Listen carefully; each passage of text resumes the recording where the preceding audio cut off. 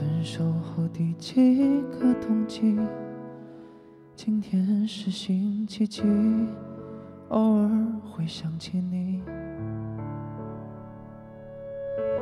你突如其来的简讯，让我措手不及，愣住站在原地。当所有人都替你开心，我却才傻傻清醒。原来早已有人为你订做了嫁衣。感谢你特别邀请来见证你的爱情，我时刻提醒自己别逃避。这喜帖一步一步走进他精心布置的场地，可惜这是属于你的风景，而我只是嘉宾。我放下所有回忆。来成全你的爱情，却始终不愿相信这是命。好久不见的你有点疏离，握手寒暄如此客气，何必要在他的面前刻意隐瞒我的世界有过你？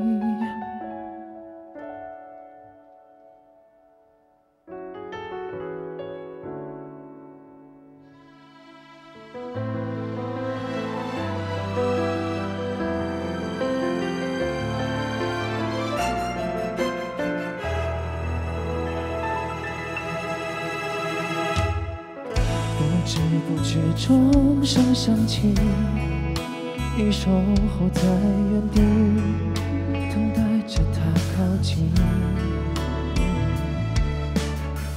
温柔的他单膝跪地，钻戒缓缓戴进你的无名指里。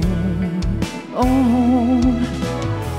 当所有人都替你开心，我却在傻傻清醒。原来我们之间已没有任何关系。感谢你特别邀请来见证你的爱情，我时刻提醒自己别逃避。今天你装扮得格美丽，这美也曾拥在怀里。可惜这是你和他的婚礼，而我只是嘉宾。我放下所有回忆，来成全你的爱情，却始终不愿相信这是命。说好的永远变成曾经，我试着衷心祝福你，请原谅我不体面没出息，选择失陪一下先离席。又不是偶像剧，怎么我演的那么入戏？这不堪入目的剧情。别邀请，观赏你要的爱情。嘉宾也许是另一种宿命。离开你的自己，事到如今还有什么资格关心？毕竟终成眷属的人是你，而我只是嘉宾。